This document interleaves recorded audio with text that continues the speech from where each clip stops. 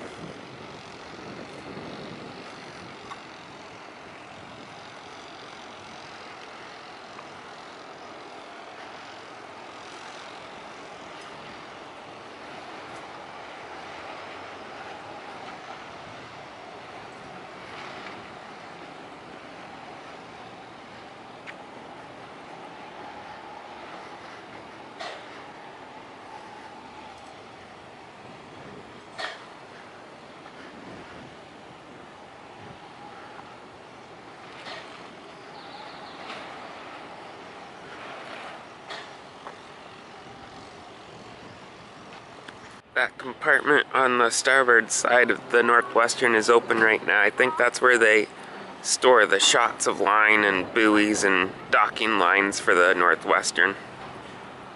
I hope you guys enjoyed me bringing you down to see the Northwestern.